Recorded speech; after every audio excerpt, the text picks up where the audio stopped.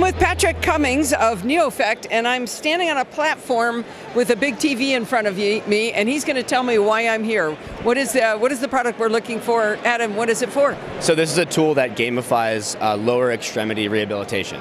So the idea is when you need to rehabilitate your leg after something like a stroke, you're going to need to do repetitions, and this is making those repetitions more fun, more engaging, uh, and overall more productive.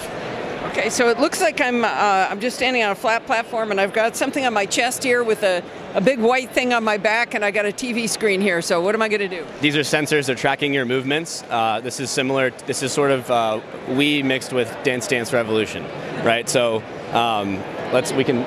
You're basically that. Maybe you should airplane. hold the mic. Sure, sure. So you're you're going to be the airplane, and so you'll see that your movements and if you like lean back a little bit and you move side to side, you're going to try to avoid these. Uh, okay. What am I tell tell the audience what I'm avoiding here? So you're avoiding these um, these these missiles, if you will. Um, they're going to start to become more abundant here, but the idea is to use your, your movement and, and balance and shift your weight in order to avoid that. Again, this it, it's not all that hard for me or you, but for somebody that's rehabbing from a stroke, and right. um, this is this is challenging, and, and this is part of therapy. Oh, it didn't it didn't blow up when I blew it though. Uh, that's good. You, you dodged it. Dodged a bullet. Will it uh, will it blow up if I if I mess up? It will. Okay, I'm gonna go right at it. Okay. Let's see. I want to make sure it, it, it's bad. Uh oh. Oh oh no.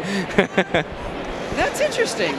So, uh, will this be in uh, will this be in hospitals and things, or in homes, or what are you picturing? In in hospitals to begin with, hospitals, clinics. Um, the idea is for all of our products to end up in people's homes, right? We want to kind of fill the gaps in care. We want to build a bridge between the clinic and the home, and give people uh, more options for therapy, more engaging therapy, um, and better access to therapy. So, uh, it's going to start in the clinic and the hospital. Um, don't really have a, a, set release date yet, but oh yeah. I just died big time. You didn't tell me giant aircraft were going to come flying at me.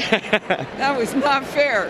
But uh, yeah, this, so this is this is kind of our, our main um, product that we're revealing at CES for this year.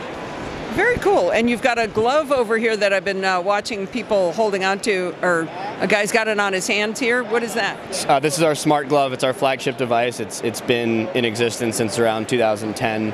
Um, and it's the same concept, gamifying the rehabilitation process, making the repetitions more fun. Um, except this is for fine motor recovery as opposed to, to leg recovery. Wow, that's pretty cool. So is that in hospitals or in homes or how's that? Both.